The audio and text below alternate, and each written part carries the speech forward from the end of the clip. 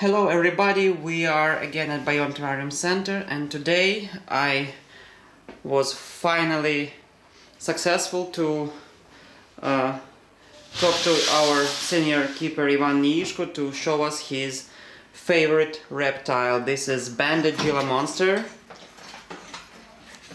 This is a big mature male. We have only one representative of this species and today Ivan is going to make a professional cleanup of uh, its enclosure. You can see how big and and amazing is this lizard. As I mentioned before, this is a male. He is about five years old or probably more. We are still looking for a female for him and uh, breeding this species is our super dream these guys uh, live in USA, inhabiting deserted areas of Nevada, Arizona, Utah. It seems like it is very lazy, very slow, but if if it is needed, this animal can be super super fast. And of course, it is venomous, so it is very it is very dangerous to be bit by this lizard and so we have to be very very careful.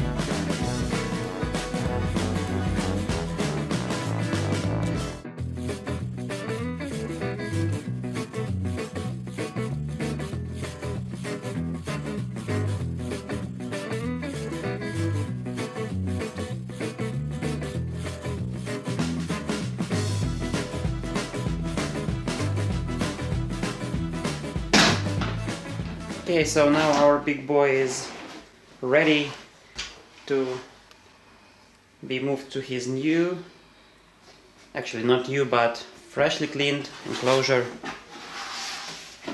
And this should be done very, very, very carefully.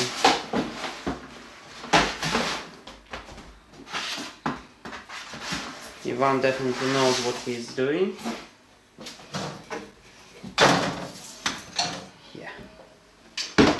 Amazing lizard.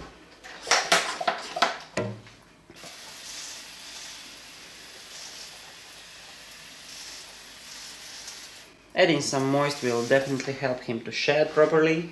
You can see some shed skin on his tail.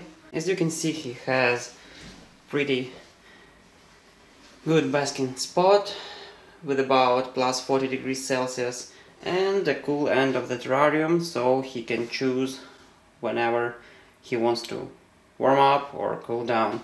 These lizards are really big, they mainly feed on birds' eggs and different smaller animals.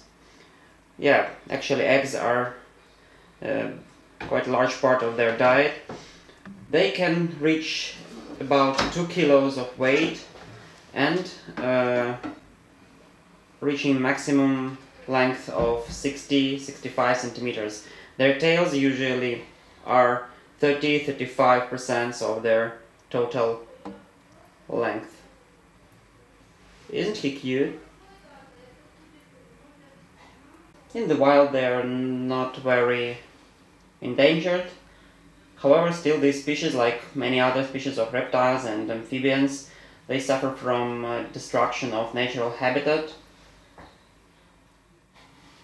So, keeping them in herpetoculture conditions is one of possible ways for saving of these amazing species.